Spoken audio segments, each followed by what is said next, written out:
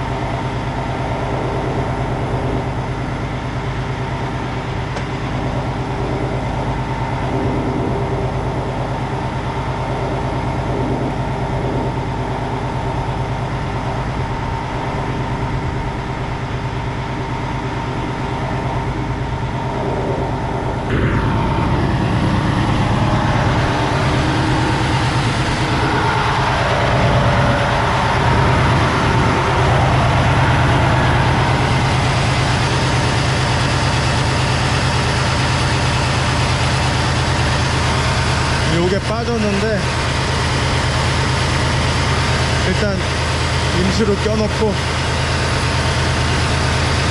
새로운 건 여기 있습니다. 이좀 이따 갈면 돼요.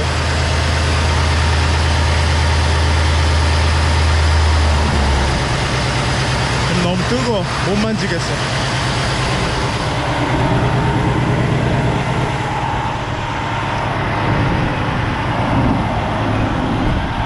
일단 공구 여기 다 있으니까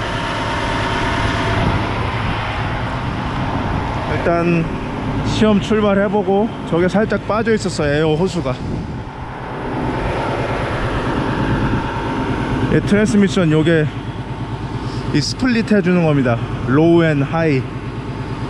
이거 두 개씩 갖고 다녀요 항상. 이게 가끔씩 빠져갖고. 이게 덜컹덜컹 하거나 뭐 눈이나 얼음 같은 게 튀면 빠집니다. 저게 금방 빠져요.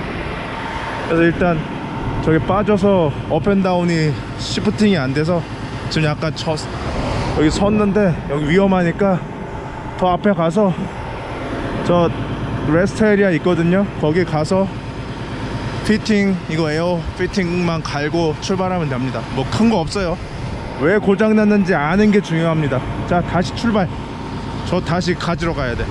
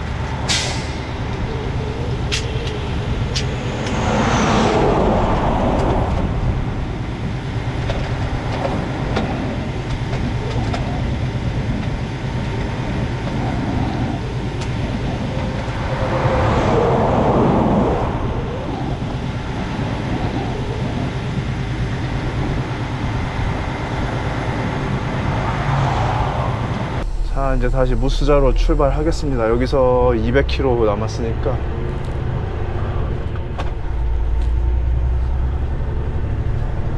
저 split이 안 되는 거지? 출발은 됩니다. 그리고 제가 지금 뭐 air hose 다시 껴놔서 split이 다시 될 거예요. 이론상으로는. 저번에도 그랬으니까.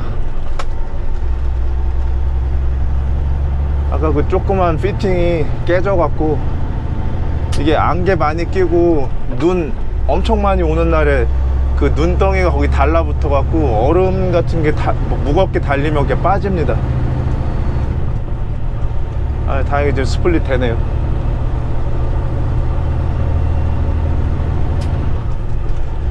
예, 내 트럭이 왜 고장 났는지 그거를 진단을 하는 게 응급조치예요. 바로 고치는 게 아니라.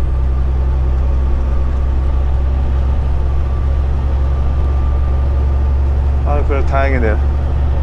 지금 여기 갓길이 너무 좁아서 제가 지금 여기서 안 고치고 있는 거고 지금 고칠 수는 있는데 지금 거의 제가 요 갓길 저 저 지플라인은 물, 제가 물고 있어서 위험해서 제가 지금 그냥 바로 출발하는 겁니다. 임시 조치로 그냥 air line 그냥 제가 손으로 힘으로 눌러 놓고 저게 덜컹하면 한번 또 빠져요. 아까 저기 다리 건너면서 덜컹 하고 나서 갑자기 기어가 자동으로 down shifting이 됐거든요. 이 기어 shifting 그러니까 low high는 high에 돼 있는데 갑자기 low로 떨어지면서 이 RPM이 막 1900, 2000까지 올라가더라고요. 이 뭔 개소리야! 그래서 아 덜컹해서 에어 호스 빠졌구나.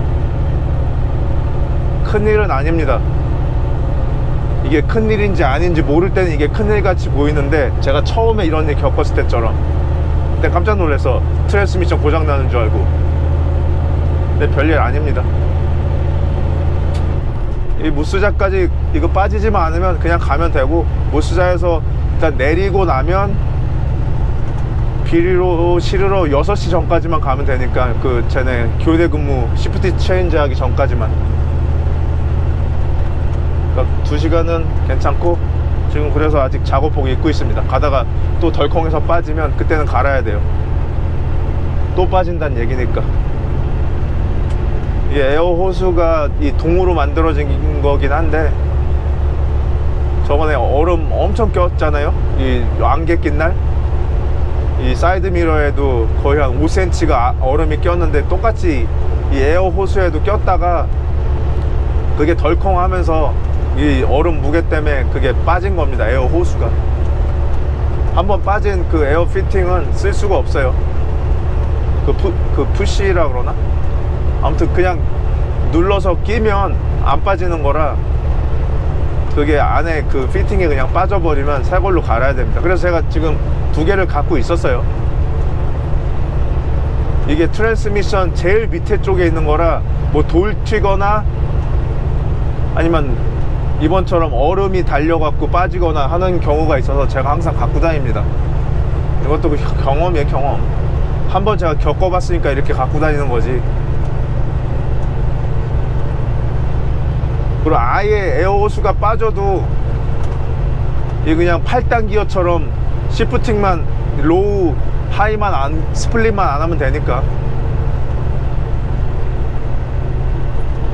운전하는 데는 전혀 이상이 없습니다 이 18단 기어를 못 쓰는 거지 8단으로는 다닐 수는 있어요.